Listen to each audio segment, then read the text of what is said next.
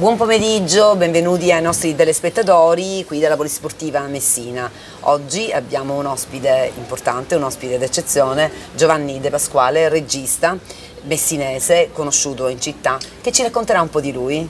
Grazie. No, stavo pensando una cosa Giovanni, che in queste prime cinque puntate abbiamo avuto addirittura, abbiamo avuto, diciamo che stiamo avendo due registi, eh, perché abbiamo avuto Salvo Grasso in precedenza, oggi Giovanni De Pasquale. Allora mi viene da pensare, ma insomma il cinema non è in crisi.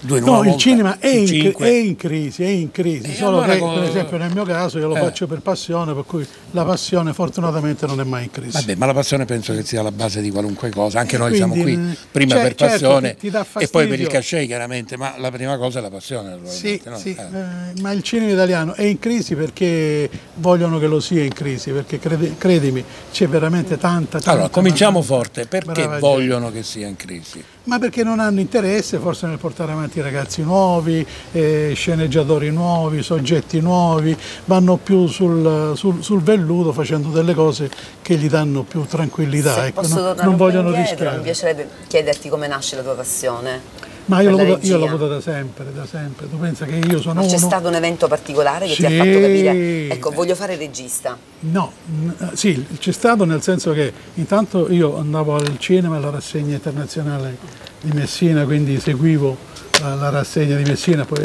anche quella di Dormino. E praticamente io non volevo fare il regista, a me piace scrivere, no? E quindi abbiamo scritto insieme alla signora Grillo, che è una mia carissima amica, dei soggetti cinematografici. Addirittura ne abbiamo scritti tre e li ho mandati, sai quando si diceva per, per il cinema italiano vogliamo dei inoltre, queste cose così, ok. Sì, poi il cinema italiano effettivamente è sempre stato un po', è sempre un, un po', po autoreferente, rispetto sì, anche al cinema americano, internazionale, quindi ha dovuto un po', insomma. Devo, devo dirti che mi dispiace perché è molto autoreferente, però c'è il cinema italiano.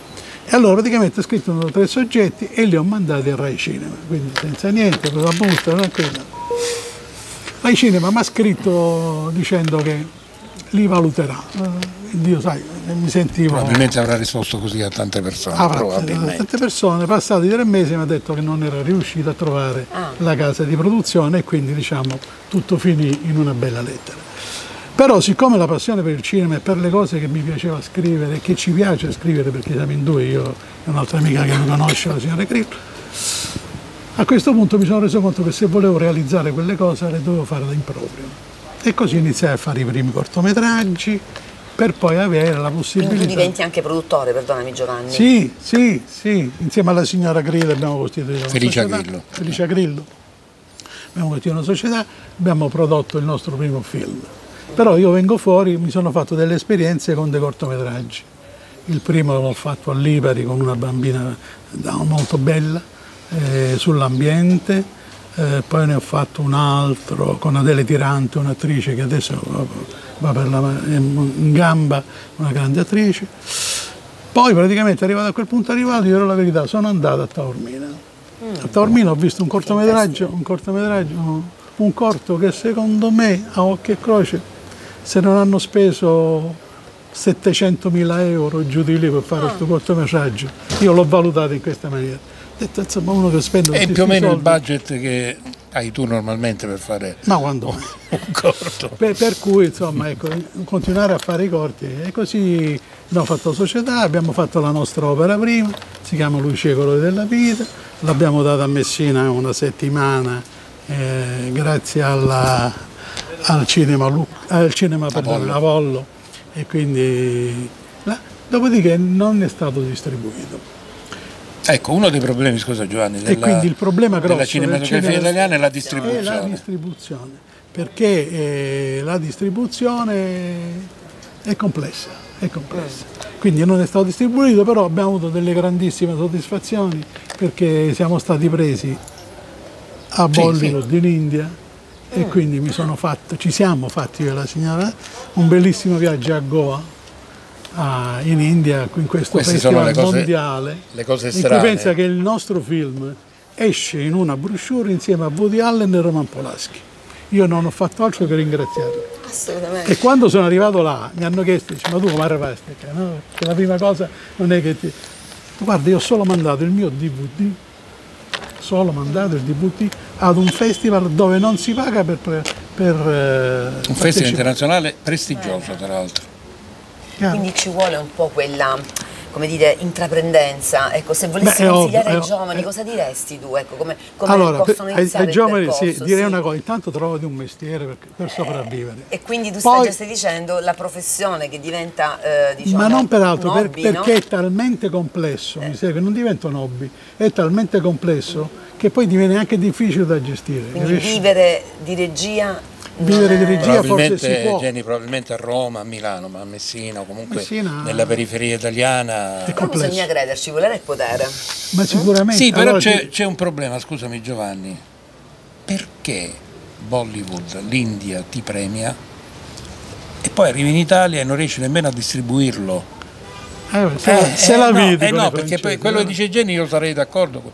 Ma il problema sai qual è? Che fra il dire e il fare c'è di mezzo il mare e non è, è un mare no, molto... No, scusa, però ci tengo a precisare, eh. non è che non abbia fatto nulla, o, o, o, ero solo seduto in attesa che qualcuno me lo distribuisse. No. Ma non pensi che così rischiamo poi di perdere dei talenti? Alla fine... Sicuramente sì, però ti voglio dire una cosa, io per esempio ho scoperto che, eh, che, che là in India ci sono anche altri stati bravissimi ragazzi che poi anche loro non hanno avuto la possibilità di avere distribuito il suo film. Quindi credo che se noi vogliamo recuperare un attimino il cinema italiano, dobbiamo cominciare a recuperare la distribuzione di tutti i film, indipendentemente da chi vengono fatti. C'è un film dare che viene tutti prodotto, la stessa possibilità. Tutti la stessa Poi naturalmente la partita si può peraltro vincere. che fanno i francesi, eh? fanno i francesi. E qual è il soggetto che preferisci? Ma io ho sempre fatto soggetti con sfondo a temi sociali. Quindi non ho mai un tema sociale contestualizzato nel territorio? Sì, ti parlo del, del, film per esempio. Il film tiene presente delle varie realtà tra due donne gay e due uomini gay all'interno di una famiglia standard normale. Quindi tematiche d'attualità. Tema, tematiche totalmente d'attualità in cui parlo dei giovani e anche degli anziani. Io ho avuto il piacere di No, allora, aspetta, se tu mi coinvolgi allora dobbiamo dire la verità. Allora, spieghiamo ai telespettatori, lo spieghiamo anche a Jenny, perché alla fine Lucia i colori della vita, regia di Giovanni De Pasquale, è stato premiato. Mi è stato raccontato che la giuria stava seguendo la proiezione del film eh, in India, no? Mi è stato raccontato che la giuria stava seguendo, un buon film per carità, tutto sommato, eccetera. Poi, capito, c'è stato il quid che ha scatenato l'entusiasmo nei confronti del film che viene premiato, la scena finale dove c'è un attore, diciamolo pure, di livello hollywoodiano, no, hollywoodiano, un'interpretazione di pochi minuti ma incisiva, importante e chiaramente restare tutte a buccavetta come si vuol dire. così importante? No, dico, eh, cioè, Ditelo come si chiama. Perché ora, eh, si chiama Bisazza capisci? Tanto è vero che la gente... Anche l'attore ah, ah, no, ah no. Tanto è vero che hanno chiuso le luci e se ne sono andati tutti. Eh? Quindi è stato in un tuo film? Eh? Ma protagonista? No, eh, siccome no, no, no, ha fatto una scena, una peraltro scena. molto complessa, che parla del problema degli anziani che vengono presi in giro dalle donne. non credimi, mi meglio, ogni meglio non parlare. Ogni guarda, trasmissione scopro novità di Giovanni. guarda che Giovanni fa una parte che come testo è molto bello, nel senso che parla di un uomo che fino a quando ha soldi vola, quando i soldi finiscono non vola più. Eh sì. E quindi quello, Prima diciamo... era come dire un uomo affascinante, poi improvvisamente il facile è finito e quindi c'era una dura realtà sulle panchine dei parchi cittadini. Giovanni. mi dispiace non te lo posso fare, puoi vedere qualcosa sul mio sito. Lo Pubblicità Progresso www.giovannidepasquale.com Vabbè, 200 euro, grazie Giovanni, per la pubblicità. Giovanni, il tuo regista preferito? Il mio regista è lui. Il mio regista preferito, eh, l'ho già detto, è Rossellini. E l'ho già detto, pensa, quando sono, ho avuto il piacere di essere nominato per un cortometraggio, eh, perché ho fatto un cortometraggio sui bambini all'interno del carcere. Ah, una okay. tematica anche là molto forte. E, e ho ricevuto una telefonata, pensa, mi ricordo benissimo che era il periodo della Befana, da un signore che si chiamava Gianluigi Rondi, il quale mi comunicava che il mio cortometraggio voglio essere libero, era stato, andava in valutazione, in valut è andata in, eh, per uh, i Davidi di Donatello. Ah, Poi ovviamente non ha vinto, ma non ha importanza. Però. Mi ha dato questa soddisfazione eh. immensa. E là mi chiedevano chi era il mio, era. e ho detto sempre Rossellini perché lo trovo mm, una persona molto tecnica, molto attenta, che non lascia nulla all'impedimento. È sempre attuale. Sì, sì. Mm, non tanto sulle tematiche, sulla qualità del prodotto che è ad altissimi livelli. Sì, non, e, e bisogna, non è facile. non tramonta. No. Poi per carità, poi sono tutti gli altri, è inutile parlare di, di, dei classici del, del cinema italiano. Senti, però problema. tornando a te Giovanni, comunque quest'estate è stata un'estate importante, prolifica perché c'è stato anche qualche settimana fa un premio per un tuo corto al quale tieni parecchio, anche e Sì, soprattutto direi sì. per la tematica Sì. di, di- questo lavoro che hai fatto diciamo recentemente. Sì, mi hanno dato una menzione speciale per il cortometraggio che ho fatto Vi- Violence, che è un cortometraggio che riguarda proprio la violenza sulle donne. Questo è l'ultimo, proprio l'ultimo, l'ultimo nato, Ok. in cui anche là è una tematica abbastanza forte, complessa, in cui ci sarebbe da aprire veramente grandi spazi di dialogo. Attualissimo Perché credo, credo, e lo posso eh, sottoscrivere, che il problema di questo sono le donne. Dice, sembrerebbe strano, ma sono le madri che non educano i figli Maschi? avere determinate situazioni.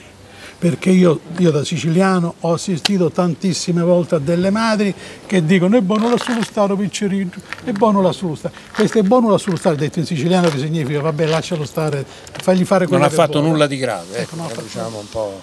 Questo gli dà la- al bambino, fa crescere la capacità che può fare tutto quello che vuole, sin da bambino.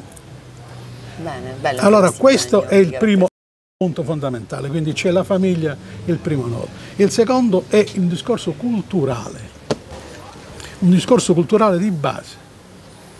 Chiaro? sì. Perché praticamente che cosa succede? Così come esprimo, io faccio parlare quattro donne, metto quattro donne che- hanno tutte subito lo stesso percorso.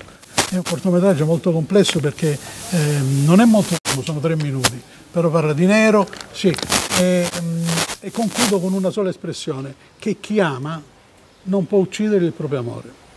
Cioè se tu ami una persona, sei felice per lui e vuoi la sua felicità, non vuoi il suo- la sua morte. Assolutamente sì, direi formazione e informazione possono rappresentare sicuramente un aspetto importantissimo. Siamo in chiusura. Per superare Siamo in chiusura, problemi. abbiamo raccontato Ah, qualcosa con Giovanni Di Pasquale cruciale. perché ci sarebbe da stare ore e ore e ore a parlare della, della sua attività. Chissà, qualche altro appuntamento? ci stavolta vediamo gli- rubo una domanda sua. Eh, nel cassetto i sogni che. Ma nel cassetto c'è sempre diciamo, il discorso di fare un'opera seconda, anche se so che è molto complesso, per cui eh, sono alla ricerca di un produttore, anzi faccio un appello, se c'è un produttore con cui vogliamo- possiamo fare sinergia per fare l'opera seconda, per- Però la voglia di andare avanti c'è. Sì, Grazie a Giovanni De Pasquale, stato un piacere. anche a. Felicia Grillo, che Grazie comunque è sempre presente quando ci sei tu, grazie a Genilello, grazie alla Polisportiva Messina che ci ospita ogni settimana con Circus, appuntamento io volevo ringraziare te, volevo ringraziare la signora, volevo anche ringraziare la produzione della-